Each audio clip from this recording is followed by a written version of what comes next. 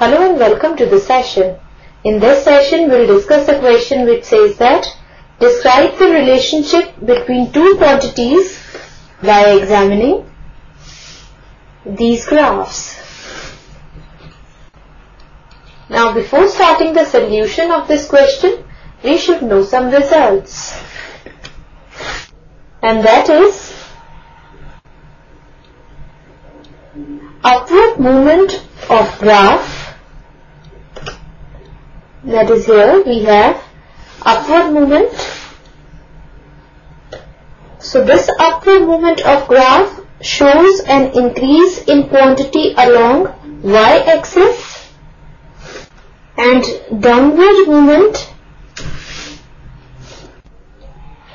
of graph shows decrease in quantity along the y-axis. Now these results will work out as a key idea for solving out the given question. Now let us start with the solution of the given question. Now here we have to describe the relationship between two quantities by examining these graphs. Now let us start with the first part.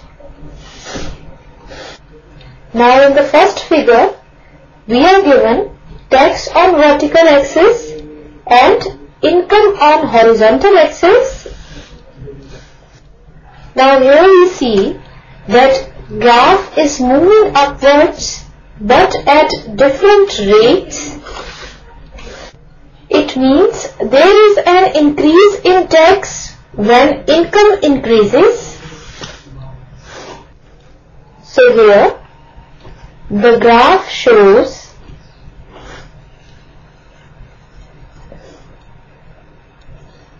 that tax depends on the income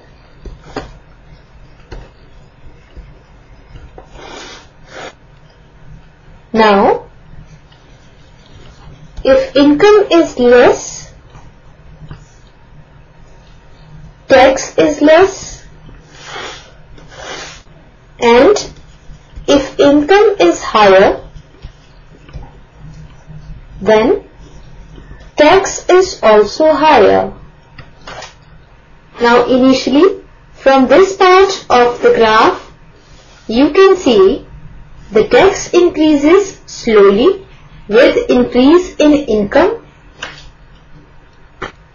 because from the key idea we know that upward movement of graph shows an increase in quantity along y-axis. Now from this part of the graph that is from A to B we see that for certain range of income the tax is increasing with slightly higher rate then from this part that is from B to C.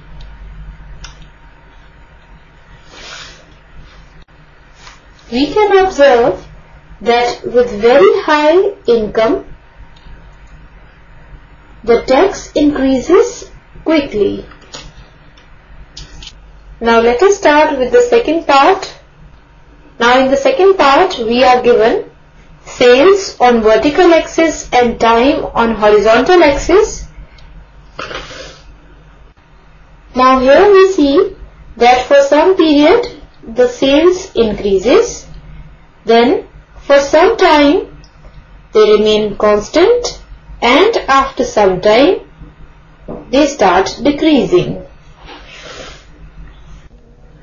So here the graph shows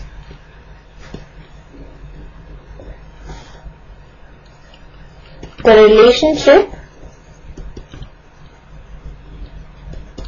between sales and time. And here sales depend on time period.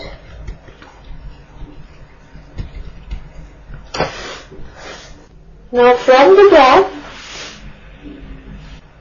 you can see that from part A to B,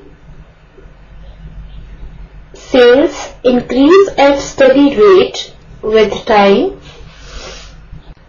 Then in the next part, that is from B to C, sales remains constant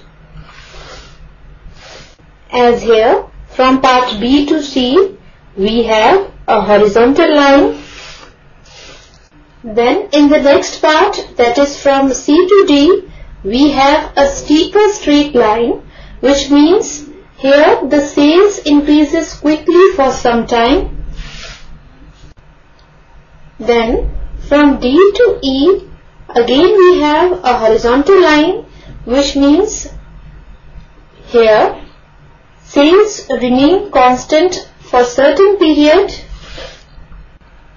now here we can see that line segment EF is steeper than the line segment FG.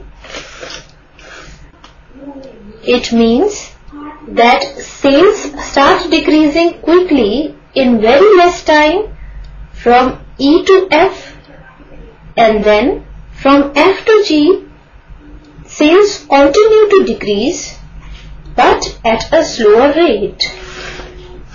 So we have described the relationship between two quantities by examining these graphs and this completes our session. Hope you all have enjoyed the session.